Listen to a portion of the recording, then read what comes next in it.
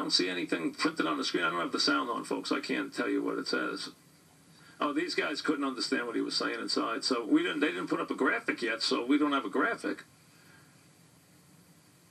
The cardinal from this is it. The archbishop. Uh, well, he's an archbishop though. Oh, well, this is it. Cardinal. This is the pope from Buenos Aires, from Argentina. He, he's it. Is that it?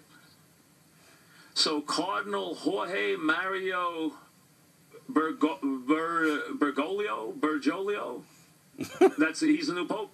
The cardinal from Argentina. Okay, so the cardinal from Argent, seventy-six-year-old pope. So they went they went for an older pope. Okay, so cardinal cardinal Burge, you guys will tell me when they say it inside what, how you say his name, and then we'll find out what his papal name. But the, basically, the cardinal from Argentina. There might be two. I don't even know if there are two from Argentina. But the cardinal from Argentina, the 76-year-old uh, uh, cardinal from Argentina, is the new pope.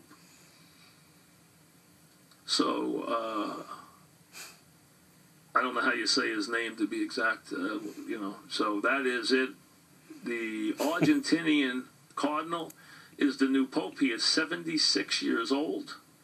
So uh, let's see if I get a little bio on him as to uh, as to what kind of pope we're talking about.